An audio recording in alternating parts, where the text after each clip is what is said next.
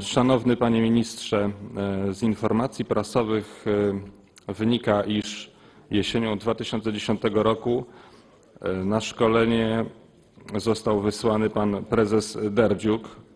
Nie, przepraszam, pan Derdziuk wysłał panią Mirosławę Boryczkę, członka zarządu do spraw ekonomicznych Zakładu Ubezpieczeń Społecznych. Zajęcia odbywały się w Barcelonie oraz w Warszawie i kosztowały ponad 17 tysięcy euro, czyli około 78 tysięcy złotych. E, Z tych samych doniesień prasowych wynika, że pan prezes Zbigniew Derdziuk jest związany z katolicką organizacją Opus Dei i wysyła swoich pracowników na szkolenia organizowane pośrednio przez Opus Dei.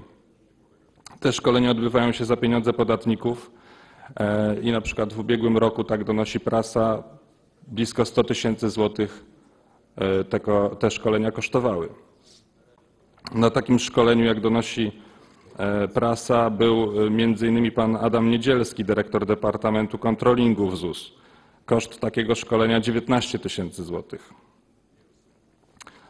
E, Z tych informacji wynika także, że e, pan prezes Derdziuk skończył e, szkołę prowadzoną przez Opus Dei i pytanie w związku z tym jest takie, czy nie, nie ma tutaj konfliktu interesów przy wyborze e, podmiotu szkolącego.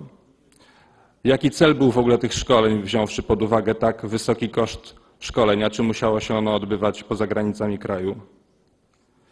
E, Jakie kryteria e, były brane pod uwagę, jeżeli chodzi o wybór e, na to szkolenie? Czy to był najtańszy i najbardziej odpowiedni e, podmiot szkolący i jakie właśnie były kryteria wyboru tego podmiot, pod- podmiot, podmiotu? I jak to wyglądało w latach ubiegłych, czyli w latach 2007-2011?